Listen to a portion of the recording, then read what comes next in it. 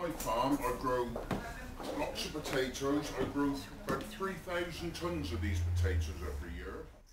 So um, back to my farm. The reason we do it at this time of year is because traditionally this is when we plant potatoes in our fields in Gloucestershire, well all over the country.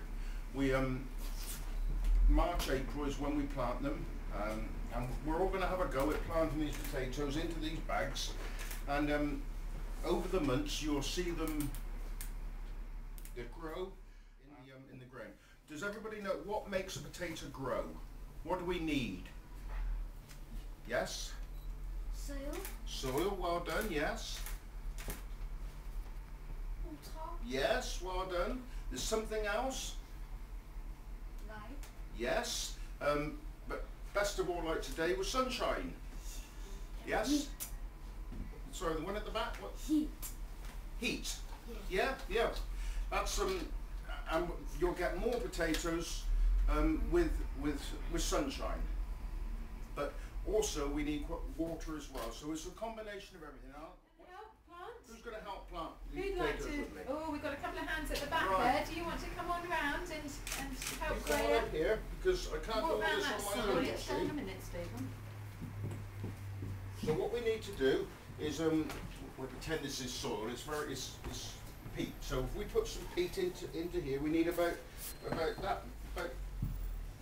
Gotta go metric now. About that. Uh, yeah, about that so do you want to get the scoop and try and scoop Yeah, some can you put some Graham? into here for me? I can't hold it up because it'll go to the bottom, you see. If you If look, if you can everyone put- looks, there's some That's it. in the Put that in there. Well done. Well, keep going. Want more than that? Right, so can we put some water in there, please? Can you just... How does this work? Is that... I'm going to get wet. That's That's it. it. You just You give it a sprinkle it around. That's lovely. Take notice of this, Hannah, because she'll be doing it tonight in after school club. Ah, That's lovely. okay. Thank you very much. That's enough. Well done. Well done, just pop it Well done. there. Right then, who's going to help plant the potato? Oh, there we are. Would you like to come up? You two at the side there. They're called rocket because they grow really fast.